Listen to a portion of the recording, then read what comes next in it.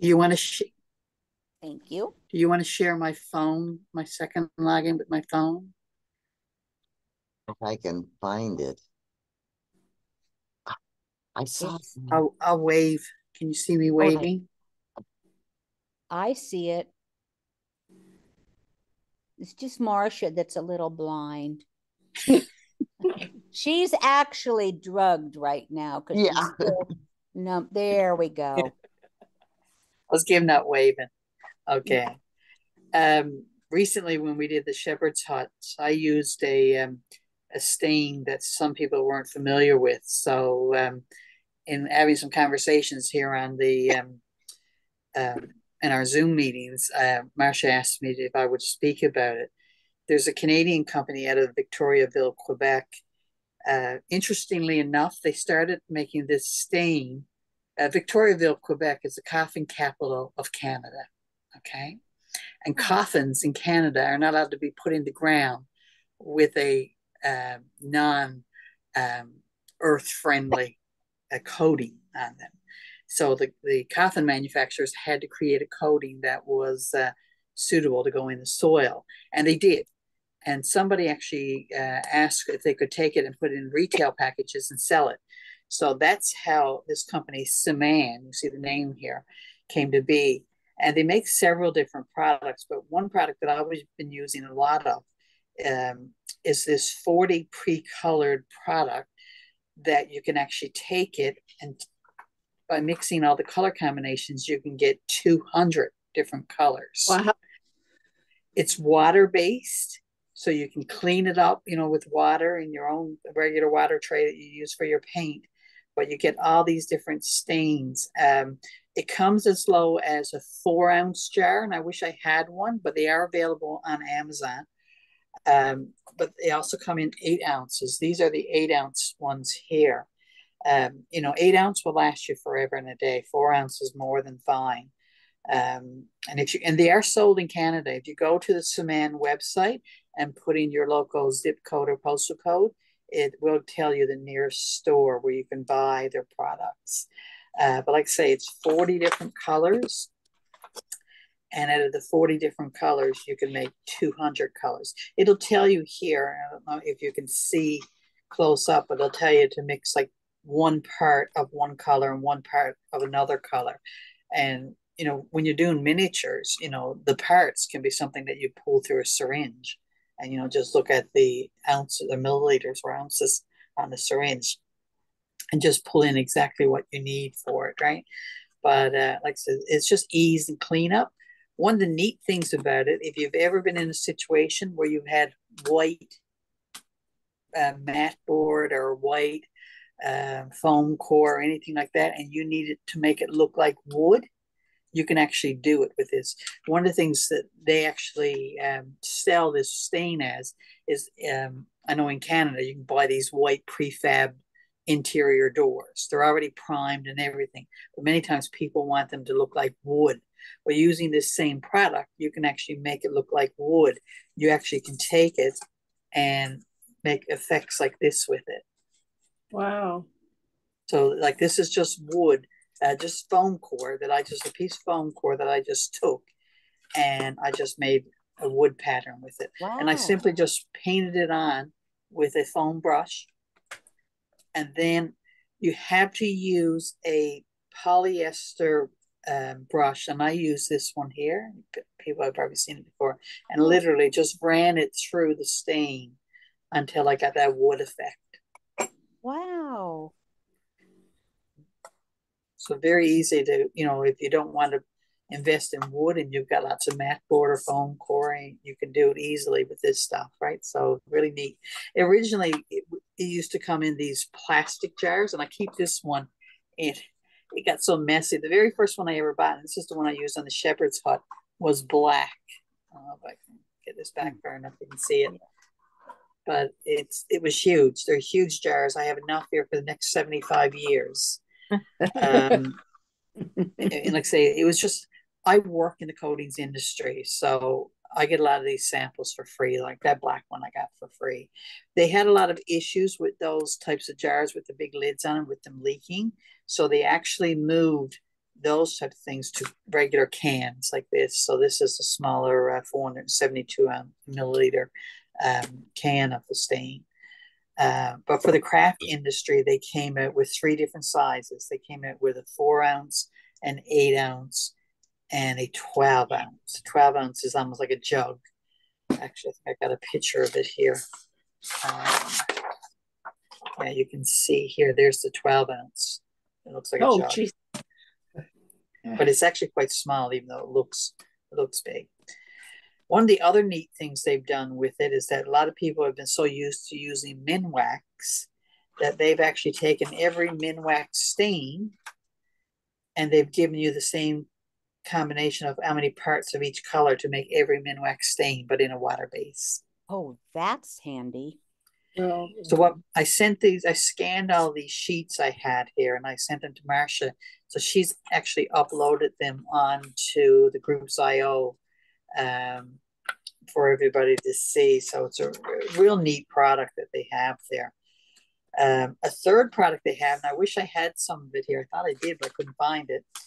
They also came out with another product. I simply call it SSV because it stands for um, seal, stain, and varnish.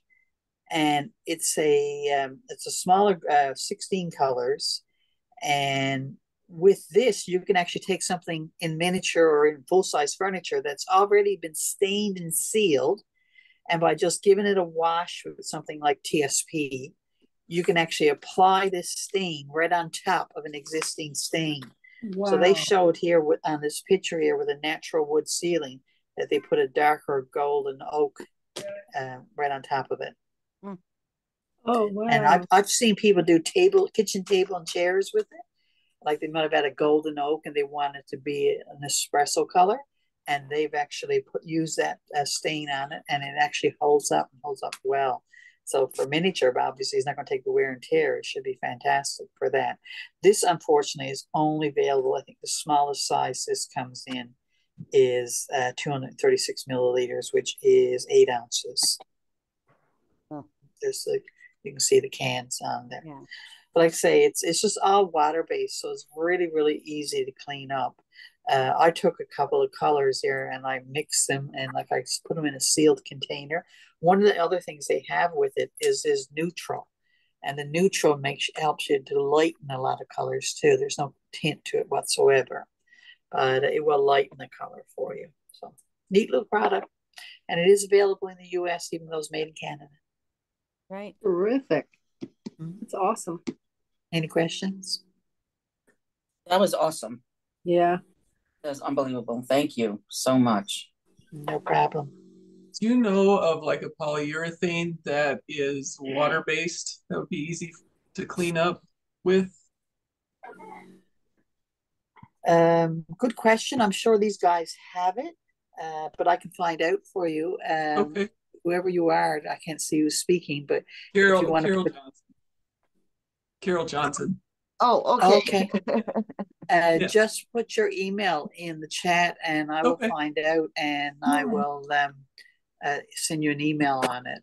Okay, Just Thank post very it on the just post it on the group because we might all want to know that. Yeah, oh, definitely. I can do that as well. But yeah, okay. Thank you. no problem. And Elaine is here. Yes, I'm sorry. I totally lost track of time. How much money do we have, Elaine? We We're have still one recording. thousand, one thousand four hundred and twenty dollars and thirty-seven cents. Thank you. Okay, treasurer report is done. Back to entertainment. I also have a visiting cat who likes to oh. sit on computer keyboards. Oh, Elaine, could you repeat that for me? I didn't quite get it. Fourteen, One, four, two, oh, thirty-seven cents. thank you. Anytime. and we also have a new member on here who is very talented with art type things. And uh we're we're we're talking her into doing some create shares. Siggy, could you wave, please? Hi, Siggy. Hi. And and see, yeah, she's going to do some create shares, right? So Yeah. exciting. Carolyn, all about brushes. I mean, to tell you the truth, Marcia, I don't know what you really want me to tell you. um, Siggy being the artist, or Laura who paints, probably knows more about some of this stuff than than I do. Um, I can tell you how to make a paintbrush because uh, for anybody who doesn't know, I do work in a brush factory. We make makeup and painting and all kinds of brushes. And if you've used, now these are mine because they were they were bad at work. If anybody's bought the Micron, these brushes from Micromark, whoops, all right, wait, let me take my back, my blower off here. Hold it a second. Okay. Uh, if anybody's bought any of these or used any of these No. from Micromark, they're really, really tiny. Micromark sells them. They sell them in sets. My company Okay. makes them. Place where I work makes these. So if you buy a pack, if you buy a set of these, there's a good possibility I'm the one that put the set together because that's my job. I work in packaging, but I also worked in the brush making area, which is to make a brush. So I can tell you how to make a brush. Um, the basic things I can tell you is if you get, you know, make sure you store your brushes upright when you store them. Don't store them hair down because you mess up the hair. The big thing in my department is packaging, and our big thing is not messing up the hair on the brush. Mhm. Um, if you get brushes that come in a set or you buy singles or whatever, and they come with the little the little cap on them, the little plastic cap, which we call a tip. If you can see it on there. Okay. Best advice is don't throw this out. Uh, because it's on there to protect the hair on the brush, and that's part of my job is I sit and put the little tips on the brushes. Um, and the idea is to put them on and not get any of the hairs bent. Don't bend your hairs when you put them back on. You got to be really careful. The best way to do that, I would suggest, is of course, don't leave your brushes sitting in the water. I do it all the time. Do as I say, don't do as I do. Um, don't leave them sitting in the water. You know, put them in for you know a little bit, swish them around, clean them, and make sure they're clean. Try not to get the paint up in the. I've got a larger size brush for this. Try not to get the up. Uh, I mean the paint up into the ferrule. If anybody doesn't know, that's this part. Parts Yeah. of a paintbrush: hair, ferrule, handle. Okay. So try not to get the paint up into the ferrule. That's that's not you shouldn't. Okay. But of course I I do all the time, but you you, you shouldn't you shouldn't really get the paint up into the ferrule. Um you And why is that? out- Yeah, clean them out right away. It just it messes up the hair and it messes up the, the brush.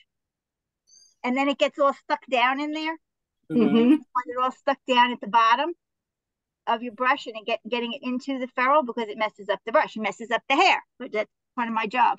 Make sure the hair is not messed up.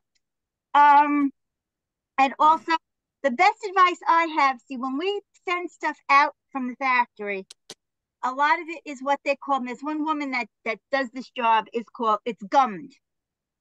All right, which is when you if you buy a brush and the bristles are all stiff when the first time you use it. Okay, um, what we use is there's two different kinds, but the one sort that Kim uses is hot gum, and that's made just from flax seeds. Okay, regular flax seeds that you can buy in the supermarket, buy in the store, and she boils them. And when you boil them down with a lot of water, okay, she strains the seeds out, and you're left with this sticky, gummy substance. Mm. Who's that behind. So that's what she uses to gum the bristles on the brush and make them stiff to again protect the hair. And then it's also easier for us to get the tips on if they're if they're nice and gummed and they're nice and stiff because then the hair isn't going all over the place.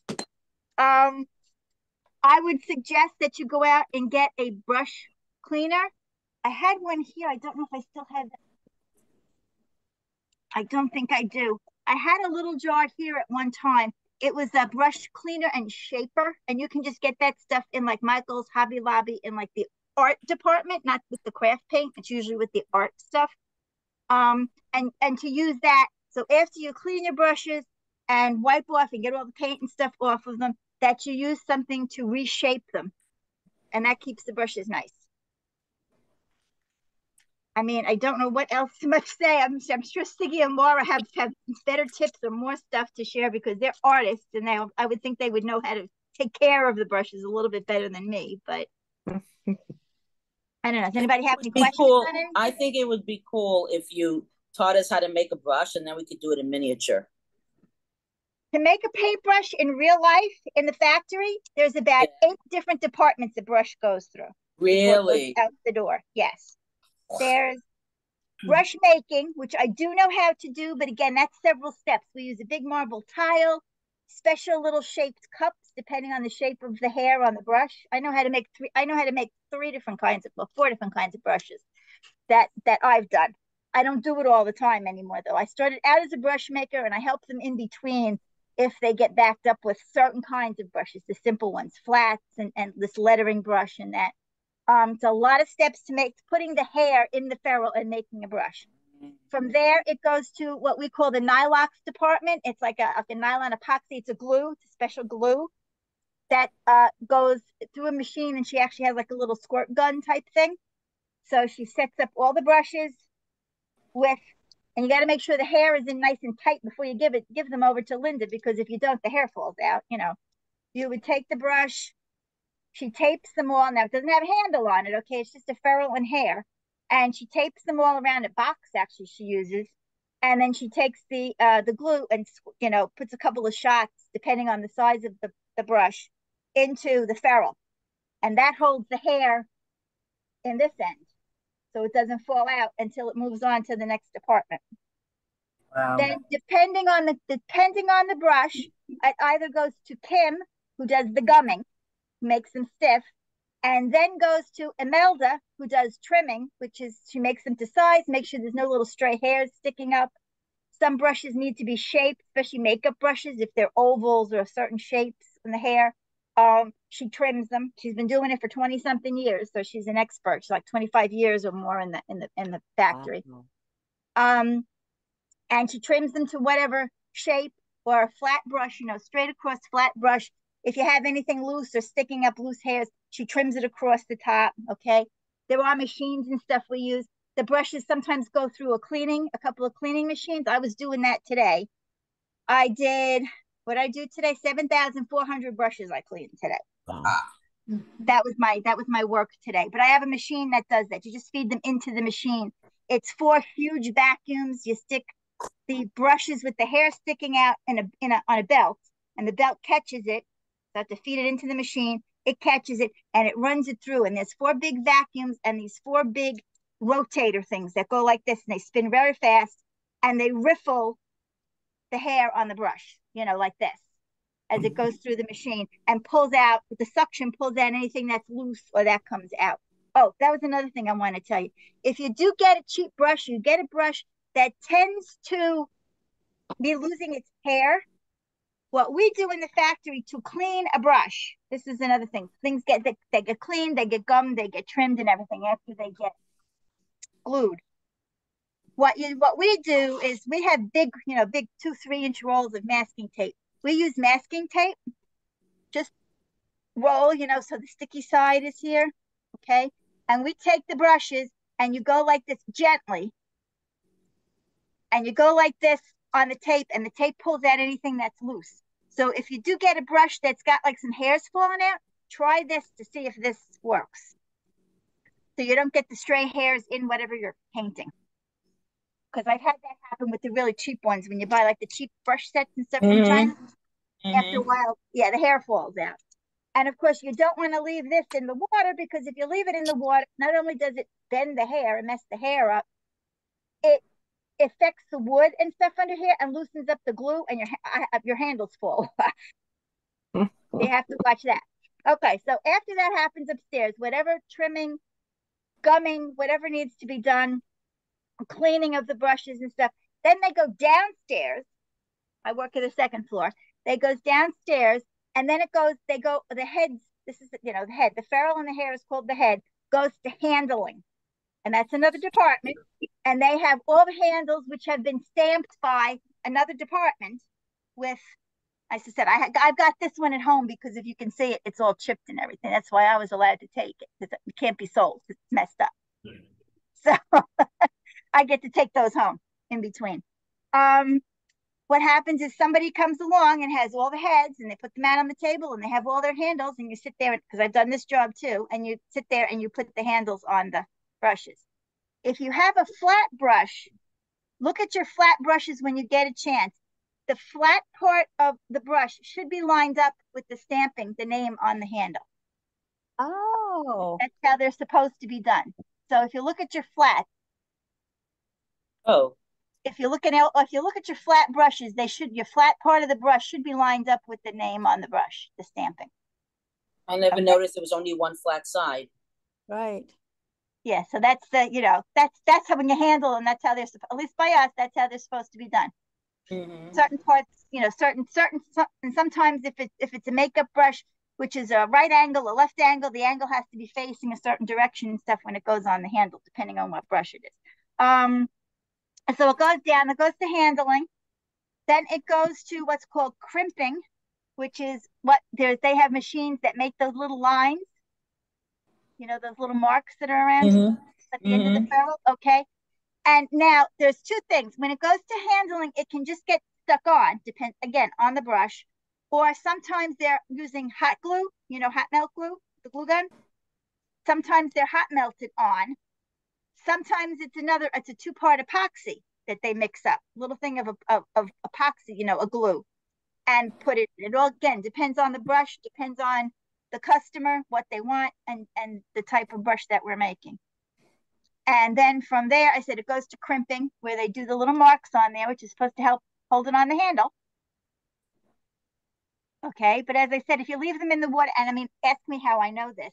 If you leave them sitting in the water too long, it messes up the handles and the handles come off and everything. Then you can try some kind of glue. Um, I've tried super glue and stuff on mine. It doesn't work. You could try if you have hot melt glue, you can try to put a little hot melt glue, a little drop or two inside the ferrule and shove the handle back in. Hopefully that'll hold it. But and again, depending on the brush, after crimping gets it, it either goes to bagging for mass bagging, you know, where somebody uses one of those heat seal bag machines and they dump like 12 in a bag and send it out. Or it comes up to my department, which is especially the makeup brushes, we do more than more than anything else. Um, sort of quality control, which is what I'm doing now. I have a whole we have a bunch of stuff we've got to check out starting tomorrow, uh, which is to look over the brush to make sure that the name stamped on is correct, to make sure that it looks right. I mean, that's how you catch stuff like this, like chipped handles. And I had one I think I showed you before where the stamping is like on top of each other or too close together. If you can look at this brush, see how this looks? Yeah. Yeah. That's bad because it's supposed to be across from each other. It's supposed to say micron on one side and the UPC should be on the back. So something happened when this one was stamped. This is the kind of stuff that I have to check for during the day, part of my job.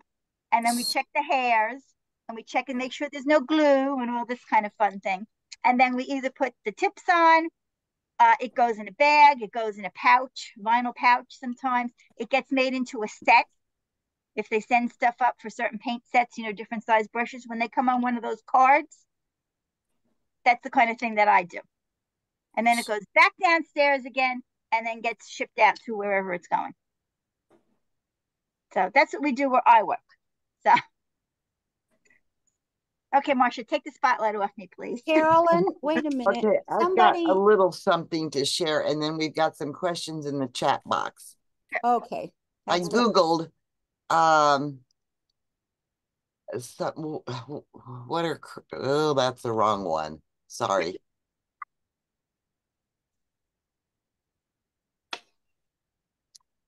Okay, I'm sorry. I get this all mixed up now. Come on.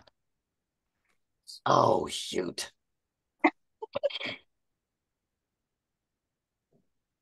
Marcia's flustered. Okay, I'll try again. Yeah, so the, the brushes, the, the very, very tiny detail brushes that Micromark sells, those ones with the black bulb handles that I know a couple Right. people had, and the Micron and a few of the others, we make those. Those come Oh. out of the factory. To Caroline's point, why Ro- Marcia's trying to find that. Uh, I was in a, a brush factory uh, last month, and um, they um, the the shaping part that Caroline uh, Carolyn just talked about there, that was being done by a robotic arm Yep. because because nobody could twist their arm back and forth enough to get the shape of a brush. Right? So they were using a robotic arm to do it. Oh my goodness. That's pretty cool. Okay, I hope it's up now. Just Tell my boss is Yeah. that. And one of the questions in the chat box is what brushes are made of, the, the brush part. That you mean the yeah the hair part, and this is this is pretty good. This is what we use. I was working with black ox yesterday. We use Black white ox. bristle. There's a Kolinsky, which is like a weasel kind of a thing. Mm-hmm. Um, those those are apparently very good. The Kolinsky sable brushes, their softness. Um, and that's very expensive apparently. Kolinsky hair. Um, sable is a real sable is really good for painting. And yes, sheep, goat, ox, camel. Yes, I have I have seen Sally, who's our longest there brush maker. She's been there 30 something years. She's she's she's only about my age. She started in the factory when she was like 18, 19 years old, like at high school. Um, she's been make she, and she's our premier brush maker for anything. Everybody goes to Sally for to, to you know do certain shapes and, and stuff. Um, I've seen her use camel. They use a lot of ox. They use a lot of like pig, you know, bristle and stuff comes from pig. Um, yes, we do use some horse. Yes, we use a lot of squirrel. Some of it Wow. is squirrel hair. Uh, our factory tries to be very environmentally conscious. So, you know, they're not killing animals to shave the hair off to use them for brush for, for brushes and stuff. You know, they they try to be very sustainable about some of that stuff. Roadkill? Um, Thinking that. you know but yeah and they and they they you know and and there is synthetic stuff too i have you know we do make Yeah. some synthetic and there's there's stuff that's a mix the synthetic natural mix too that we use. Oh, all different kinds of stuff. I think they even had i'm trying to remember i think the most exotic thing was a zebra fur we had one time? There was something re- for something really weird. Sally was using several years ago i think it was zebra or something like that. They were using fur from from something. So yeah. Okay, the chat box, uh, the first question was what kind of animals are used? Uh, any questions or comments on that? Nope. And the next one is one way to shape your brushes before they are dry is to roll the tip on a bar of hand soap Mhm. and use your findings to shape it. Fingers. fingers It will harden and keep the Yep. shape. Just rinse in water before you use it. And Kelly, do you have anything to add to that? And is she Uh. I Yeah. I don't really have anything to add to it, but way back in one of my future lives, I used to do decorative painting. And that was one of the things that that I was taught to do to if you don't have that little plastic thing the that she was Right. talking about, you know, this way you can shape any of your brushes, whether they're flats or rounds or angled. Mops are a little hard to to to shape, but it helps keep the bristles in in their shape, and all you have to do is just rinse them a few times in some water, and you're all ready to go. Yeah, it works. I'm sure. I'm sure it works just like gumming would work in the factory. Yeah, Same, yeah. same principle. And I've heard actually, I think it was Debbie Young that gave us this tidbit around to it or at some meeting. I'm pretty sure it was Debbie who said during the pandemic, with all the hand sanitizer she had, she found the hand sanitizer was really good for cleaning the brushes, especially if they had a lot of dried paint in them. Yes, yeah. I've done that instead of alcohol. Yeah, Right. because it's got the alcohol in it. So if you've got loads of hand sanitizer at your house, Oh yeah. Yeah. you can use that to clean the the clean brushes too, especially if it has dried up paint in it. And I've heard dish, I've heard people using like dish soap and stuff too a little bit. Yes. Like a yeah. little squirt. Yep. Dawn is very good for that, for cleaning anything out. Mm-hmm. Uh, no. uh, Laura Wright, do you have anything to add about brushes? And you're muted. You're muted, Laura. um.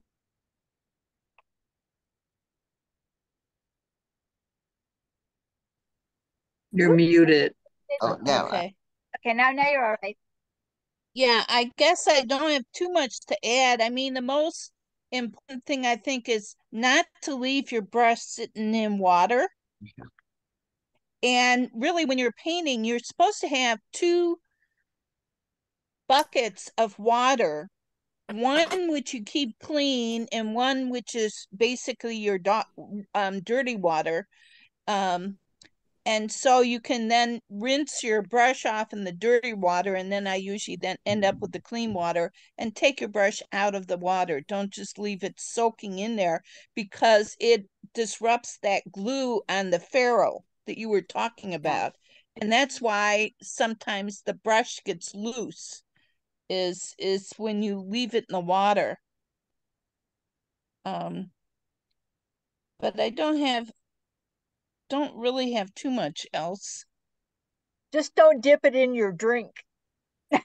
Oh, gee. yeah, I have three I three have done that. containers of water. The first one is the dirty, dirty. The second, I rinse it in that, wipe it off, put it in the second one, rinse it off, wipe it off, put it in the third one, and wipe and rinse and wipe off. Good one. Yeah. I You can uh, buy call like pill bottles.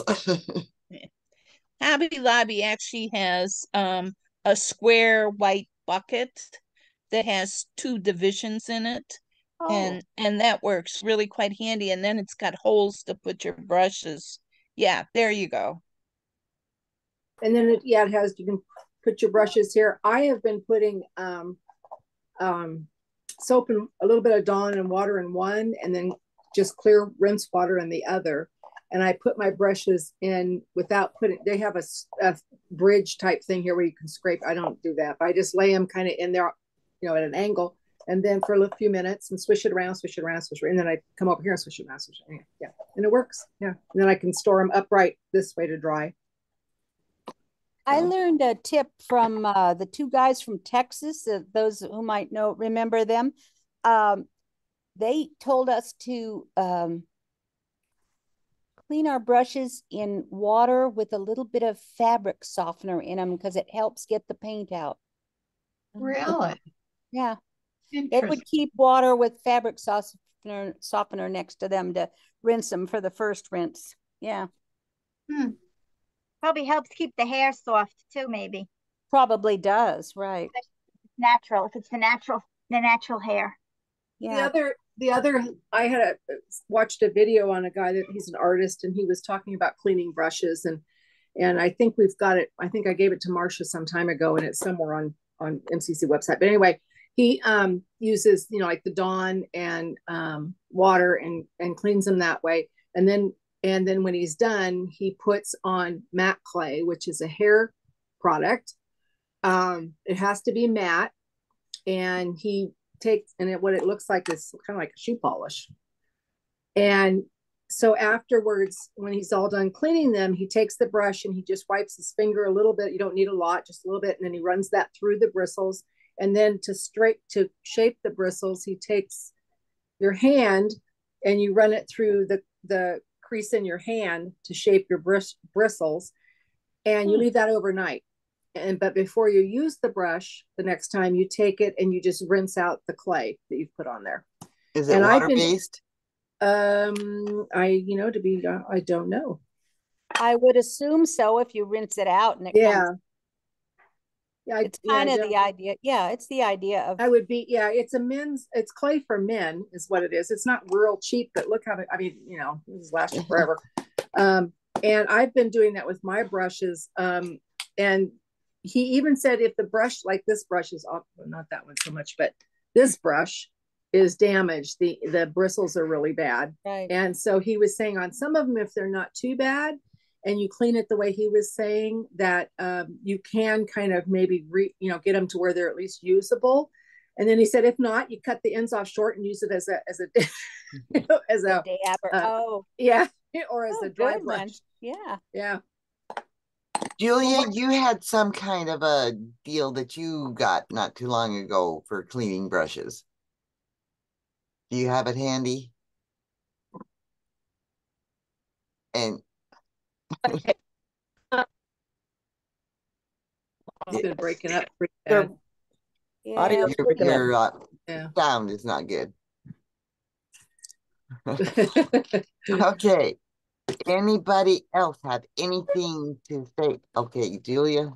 But uh, like what Kim does is when we have a flat and she gums it, okay, she, you know, really gets it in there and makes sure it's all down inside the, you know, all down in all the bristles and everything, not just the tip. She really shoves it in and shoves it down and, and gets all stuff. And then she uses um uh, you know, paper towel type napkin things like you'd have like in a bathroom or something like that, but paper towels and she gets out the excess. And then you take a flat and she goes like this and pull you pull it up to shape it. And then she does a little on the sides to make sure all the side hairs are in. Let me do it this way so you can see it. You go like this. Because I've done some gumming too. I mean, in the factory, everybody sort of has to know everybody else's job a little bit. So and you go like that. And then around, if she does around, she dips around in, again, wipes it all off. And then you just take it and you kind of pinch it and just pull to get the, to try to get the point back on again. Right. Keep the shape. Shirley, Yeah, I'm here. you had something in the chat box? Yeah, um, a number of years ago, uh, they uh, got craft paint on one of our tablecloths at church, and I used vinegar, and this was dried navy blue paint on a white tablecloth, and it took a lot of applications, but it took it out. I don't know how that would work on brushes where, you know, like especially if, if it's uh, up in the ferrule. Yeah. To, Oh, it doesn't do too much good to spotlight you with. no. As I said, her her um her her uh uh, what do you call it? Um Plastic surgery. plastic surgery was Yeah. obviously very successful. You're very adorable. Yeah, and that's two of two of my ferret kids. And uh, I uh, read one uh, source years ago that said sable is from ferrets for the brushes. Oh. Yeah, it is. Yeah. Just to mention that technique hear I showed earlier on uh, making white foam board look like wood. Most of the craft brushes out there, especially the good quality ones, are, as you just mentioned, natural fibers. But to do that technique, you have to use a synthetic fiber brush because the natural fiber brush kind of puts all the, pa- uh, the paint and stain together, and the synthetic brush separates it, and you're trying to get the stain to separate, right? So uh, that's why you have to use a synthetic one. So there's times that a natural brush works well, and there's times that a synthetic brush works well. It's just knowing what to use when. Interesting. Okay, anything else about brushes? I have something that's not about brushes, but we're talking about cleaning brushes, and I Okay. found item. I haven't tried it yet, but um, where it's water that comes down. Yeah, that's Well, Have yeah. seen that? It cleans that's what it. Julia then has. Oh, Julia has that. Okay, Mhm. yeah, that's Yeah. kind of what Julia Yeah. has. Yeah. I have one here in uh, already. I haven't set it up yet, but it's assembled. Where did you get it? Temu. Right. So I finally tried Temu and got my stuff from there. Yeah. Yeah. I think Why my, not my, ask my Ziggy something? Say, uh, Ziggy, aren't you an artist? mhm. I am. I'm just listening to everybody else, but I, I have, you know, I use a lot of really big brushes, but I also use small, small brushes. And one thing, a tip that I can give you, and I've been painting for probably, I don't know, 50 years. And um, if you have a brush that's solid like rock, and you just say, oh God, I'm going to throw this brush out, don't throw it out. Use Murphy's oil soap. Murphy's oil soap, I have had so I used to have like a 10 woman crew, and sometimes people would forget to uh, clean the brushes and they throw them in another bucket. And if you found that that brush a year later, you could still get all the paint out of it with Murphy's oil soap. So a lot of times I'll just take so you have the one thing about Murphy's oil soap though, what I do is I just put it in a jar, like a mason jar, and I'll put the brush in there. But you have to make sure that you don't have the oil soap any you can't get as high as the ferrule. because once you get into the ferrule, you can you can separate the um, glue and have it all come apart. But Mm.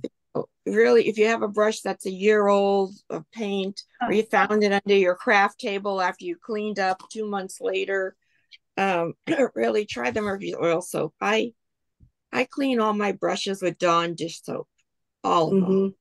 and I shape them all with Dawn dish soap. I have some Betty Bird brushes that are 40 years old that are that are really fine 0.0 liner brushes that I've had for that long. And um I don't put the tips back on my brushes, those little plastic tips. And uh, and I used to tell students not to put the tips on because a lot of people aren't careful enough to really put that tip on without getting a hair caught in it. I mean, if you're good at that, that's a good thing to do. But for some people, you know, they're in a hurry and that that really ruins the brush if you put the tip on incorrectly. Um, that's that's the only tips I can give you, but I know make sure that I said, Siggy, that's part of my job every day is putting the tips on our brushes before we send them out. And you've got to be Right. really and check them if other people have done them. Like that's what we're doing now. We're retipping stuff because you'll get one and all of a sudden you'll get one and all the hairs will be pulled down because somebody has just shoved it on and someplace else in the factory. Exactly. Yeah, exactly. So, uh, but but yeah, but the Dawn just soap, I mean, I've been using that for probably 45, 50 years. And I have tried like, you know, they do make green green bars of soap that are for artists. Um, and I really like those too. They do clean your brushes well, but they really clean your hands great because they have um I always say it feels like they have sand in the brush because it just takes all the paint off of your hands. Um, Oh, if I think of it, if I think of it, I'll pull it out for next week and I can show you girls Yeah, what it's, a, it it's a pumice, it's a pumice base, probably. Mm. I have, it uh, looks I have like it. green bars. Yeah, I have green bars of soap. It's um lava soap. My father used to use lava 40 Yeah. years ago too to clean the grease and stuff off his hands because it's got that grit in it. Yeah. Yeah, no, this is made specifically for artists. Yeah, but it's Um, it's this- probably this- similar, right? Yeah, yeah. Um, but uh, you know, whatever works for you is what you should do. The thing that works the easiest and the best for you is what you should do. You know. Oh, I have a, a suggestion for people that don't get the, uh, the caps back on easily. Take a piece of stiff cardboard, almost like a, um, oh, like picture, uh, cardboard. And, uh, put a rubber band on it and just slide your brushes in that. Or put your brush down inside of a straw. It's plenty big enough, put it, uh, handle in first, but it's plenty big enough and it'll protect the bristles.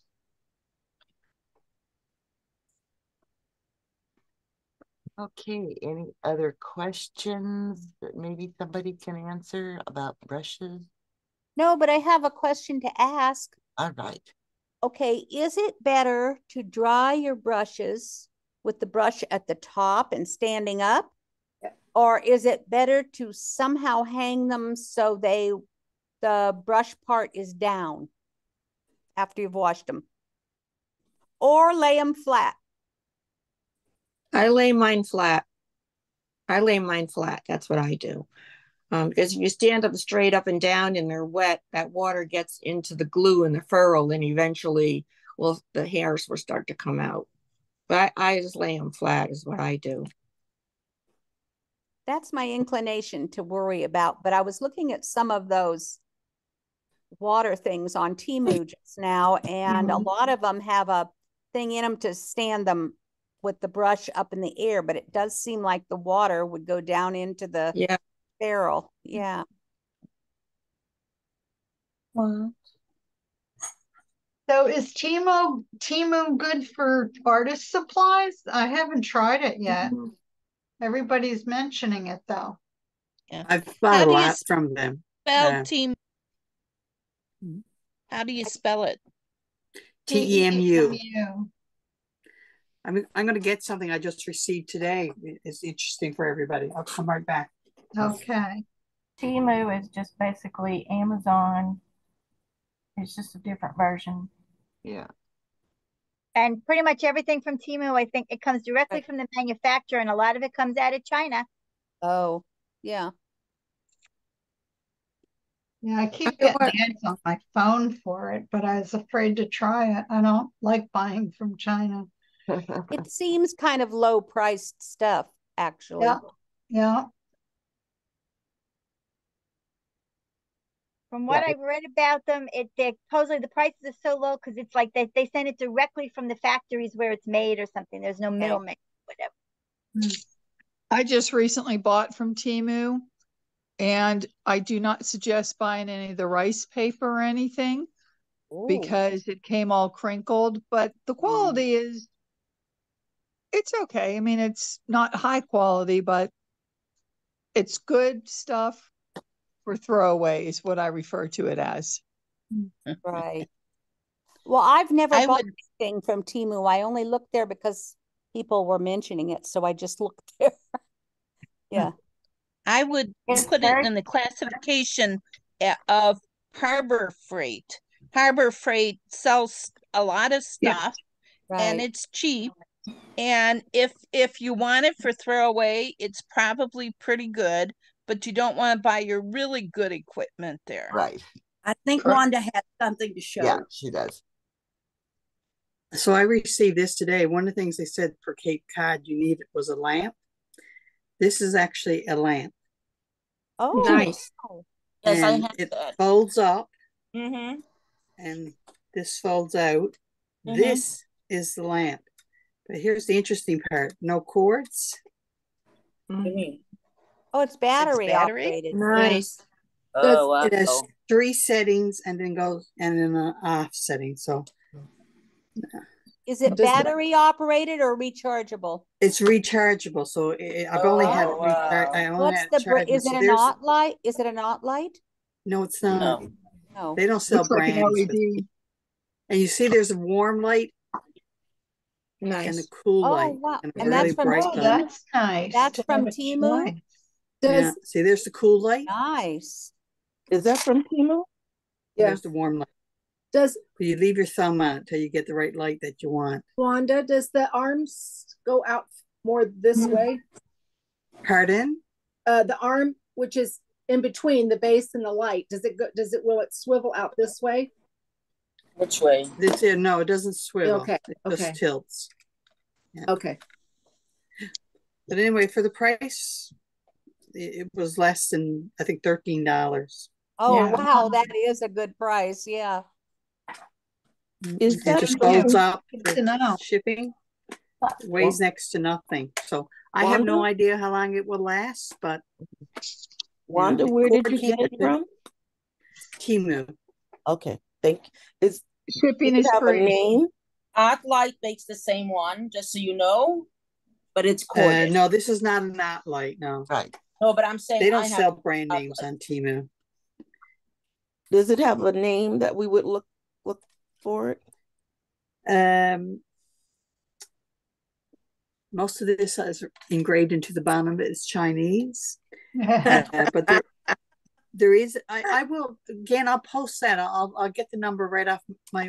my maybe I can get off my order form here now because I got the email saying it was delivered.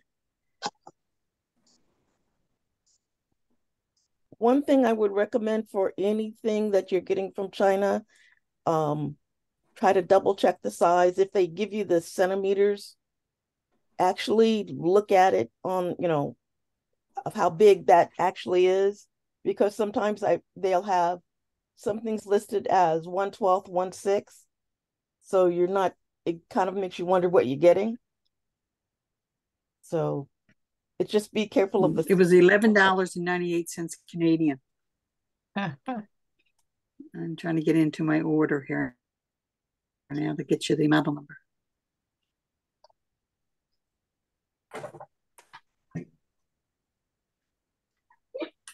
This is Kelly. I've ordered a few things from Temu and they don't like to give you the sizes on the no. website.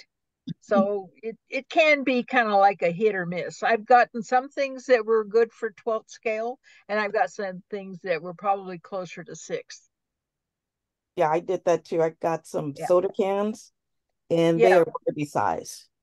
Everything I've ordered for miniatures on Temu, the sizes, everything that I've ordered, the sizes are in the pictures, not in the descriptions that I found. So when you're looking at Temu, it'll provide pictures, and that's where I'll, that's where I find the, the dimensions. So I can share my screen and show you the product on the screen if that helps too, so you can find it. Um, I don't see a model number here.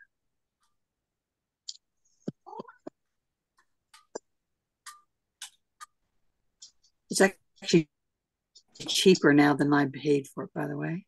That rats my socks, but it's okay. it's a dollar cheaper than I paid for it.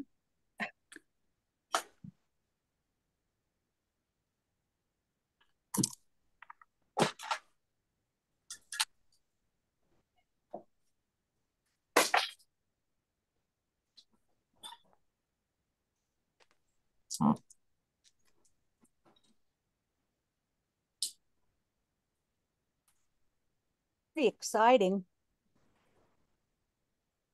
There it is there. All we see is a white Those screen. color one piece rechargeable desk lamp with three lighting modes. Wait, Wanda, you have to Did take lose off your everybody? sharing screen first. Yeah. Wanda, you have to take off your sharing screen before you, ah, there you go. Okay. There. There. Okay. One piece Wait, recharge. Did you see it? I couldn't hear anybody. It's like our last. It volume. came up just briefly. Oh, okay. Do you want me to try it again? yes, please. I think Marcia unpins it too quick. No, I didn't do anything. Oh, okay. Now you have to click on the white and then show it.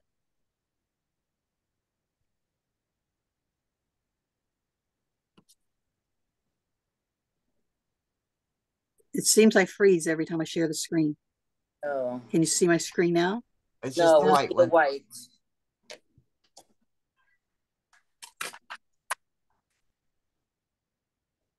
There. There There we go. Leave it there. Don't, yeah. Did it take a long time to get to you? Now we see it. Mm, uh, two weeks maybe in total. Okay. Oh, I ordered something from Temu. I mean, a few things, and it came in within a week. Maybe it depends where you mm. live. Probably. Yeah. Because I was shocked how not fast even it came. Timbuktu. on my as you shipments, so they would give me a, a date I should receive it. And if you don't receive it by that day, they give you a five dollar credit. Yeah. Right. Yeah, one. yeah. And I did get the five dollar credit once. Yeah. Now So I up here in can this one um, box, share here now. light. Everybody got it? Yes. Yeah, got it. And I, I ordered from them once and I got the $5 credit. And then they sent me a full refund because they didn't come, they say in the way it should come. They gave me a full refund. wow. I was, it's crazy. They said it was lost and I got it. And I'm like, okay. And they said, if it comes, just keep it. They let, it literally sent me an email saying that. Yeah. Oh. Yeah. I wanted to return something and I only paid like, I don't know, five dollars for it or something. And they said, just keep it. And they just sent me a new one. Oh, I thought mine didn't work when I got it. There was no, it wouldn't work at all, but I didn't realize that I needed to charge it for a bit of time. So Oh. once it was plugged in for about five minutes, then it started to work. All right. The other thing that was on the list was chalk paint. I know nothing. What? Chalk paint. Chalk Chalk, paint. chalk paint. Someone told me don't use chalk paint for miniatures. Why? Remember who that was? Um, I use it all the time. Do you? Well, because you don't have to sand down any old stuff. You know, like if you're redoing old furniture or something, Right. you don't have to sand it down to use chalk paint. Uh-huh. Yeah. That is the biggest advantage of it, sure. Yeah. Mhm. And, but you do have to uh, seal it afterwards if you want any kind of, sm- and you have to sand it so you have a smooth finish if you want a smooth finish. Yeah. Yeah, I but have a isn't lot it of too chocolate. thick for miniatures? No, No, you just you can thin it with water. Yeah. Oh, I it I just thought it was pretty thick. I have a bunch. Depends. It depends what brand you get. I mean, I only have used Annie Sloan, so Yeah, that's what I have. and I if it's too thick, I just add some water to it. You can thin it or thicken it. I took a class at the store here that sells Annie Sloan and uh, learned a whole lot about it. And they have a wax. Annie Sloan has a wax you can put over it too if you'd rather Really? use that than Mm-hmm. a spray finish. That's cool. And if you like chalk paint, but you don't want to go out and buy it and you have a lot of regular paint, you can buy this product here, which is basically plaster of Paris. See it Plaster moving in of the Paris, yeah. my jar? Yeah. And uh, and you this is called my chalk paint.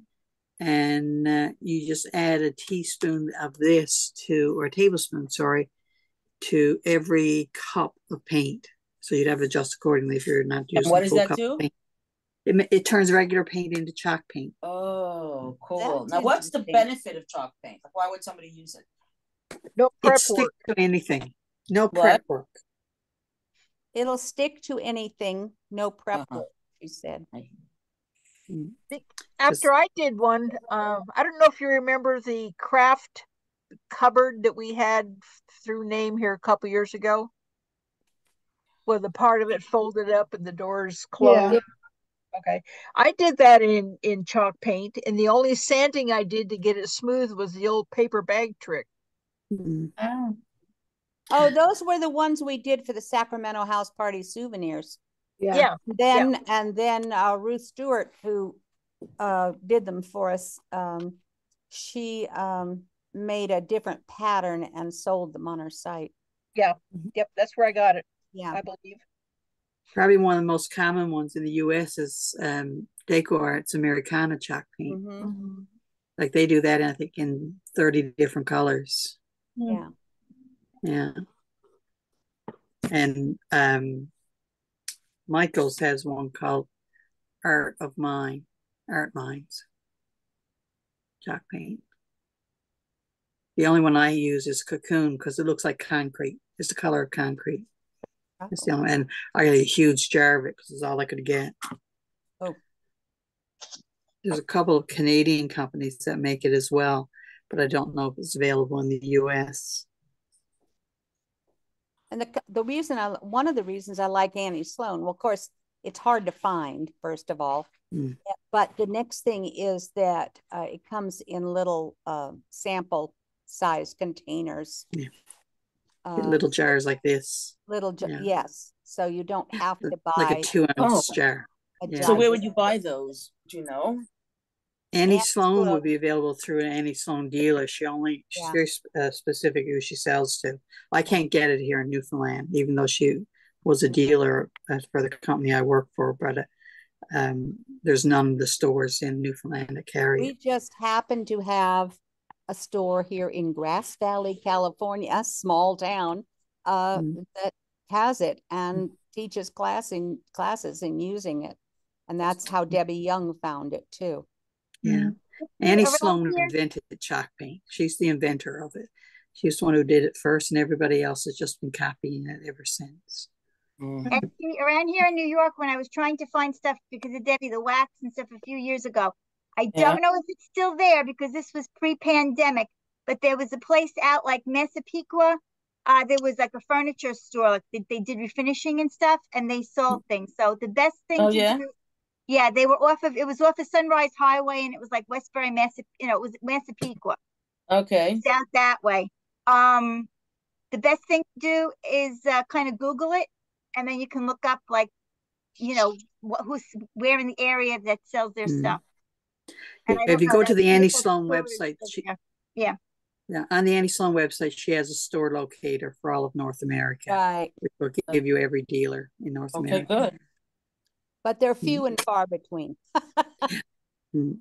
Yeah, they, they- every store that carries it has to go through a two-day training thing, and they have to go to their closest distributor. So there's a big investment on the part of the store to carry it. So that's why not a lot of stores will make that investment, right? But she has a lot of videos on her website of how to do things and Mm-hmm. Yeah. all that. And I don't know, can Yeah. you order directly from the website?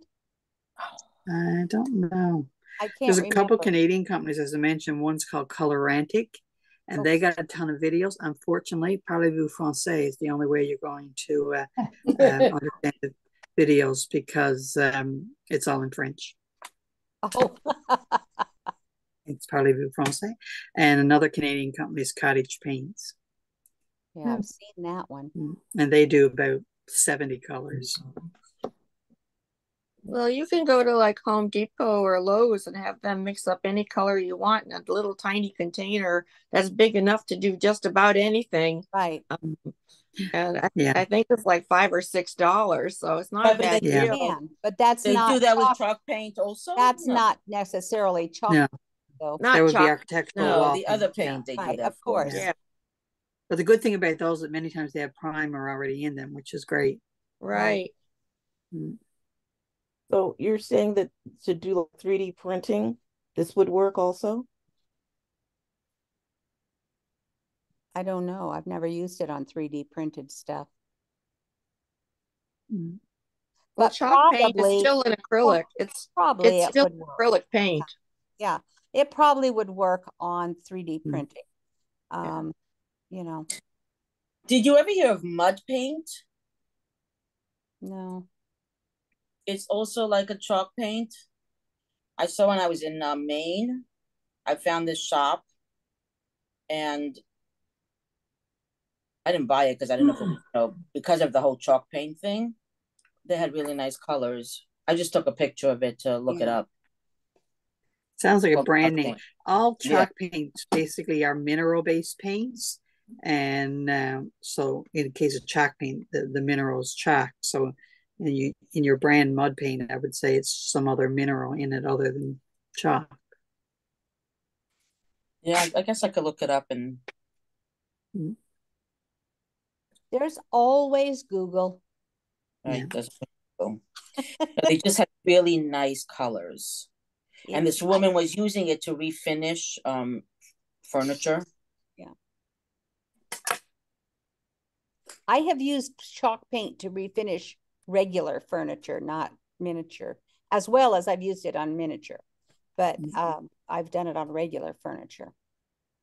Mainly because I just don't like all the sanding and using uh, strippers and stuff on the finishes. And so chalk paint can go right over it.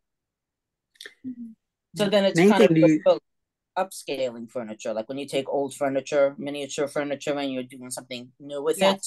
Yes. Oh, that's good to know. Main Like- thing with anytime using chalk paint is use some type of TSP with it first. Give it a good washing. You don't have Oh, to sand yes. To use and what? Make sure you re, you get TSP, trisodium phosphate. Um, just make sure you get rid of any gunk. At the store, when Great. I took the class at the store, it was with a regular piece of furniture and they had us clean it all with alcohol first. Oh wow. Mm.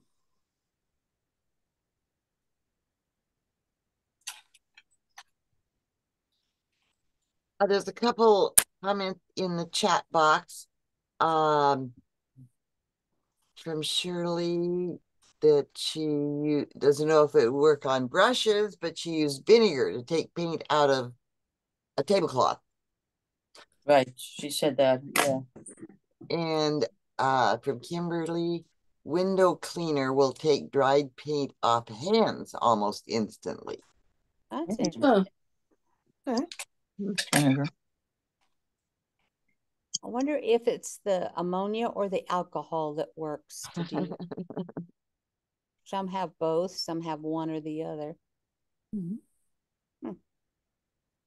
Because alcohol works really well too. Oh, and you know, if you want to take take stain off, uh, like Minwax stain off your hands, Mm-hmm. you wash them in salad oil, you know, Wesson oil or Crisco oil or any of those Yeah. vegetable oils and scrub them and use a fingernail brush to get under your fingernails and stuff. Then scrub your hands with soap and water and you get rid of it and you don't have to use paint thinner or those harsher things. That's good to know. Sometimes Vaseline will work with that too. It might. It'd probably be the same kind of idea. Yeah, the not set in stain, but on your hands, but Well, right after you've been staining. I don't Yeah. I don't put gloves on, so I just get it in every Yeah, Oh, same. my Oh. cuticles and everything else. So I Yep. have to use a fingernail brush to get it out and and I use uh yeah, salad oil or you know, vegetable oil and then I learned that many years ago from someone. If you're making um arrange flower arrangements with uh, greens in the uh, wintertime at Christmas, the vegetable oil takes off the sap right off your hands. That Oh. works really well. Yeah. Yeah.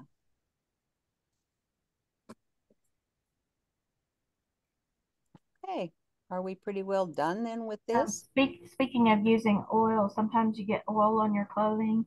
Yeah. Um, I read um, that you can use chalk, like real, you know, like regular chalk, not chalk paint. Oh, Mm. just a white chalk, you mean? Yeah. To remove oil? Yeah. No, I'm always Then you getting can oil wash, on my then you clothing. have to get the chalk off. No, I think the chalk would dissolve in the uh, the wash. I Yeah. think so, yes. I was kidding. Yes, you can- you just draw a little design in chalk and you'll have a whole new outfit.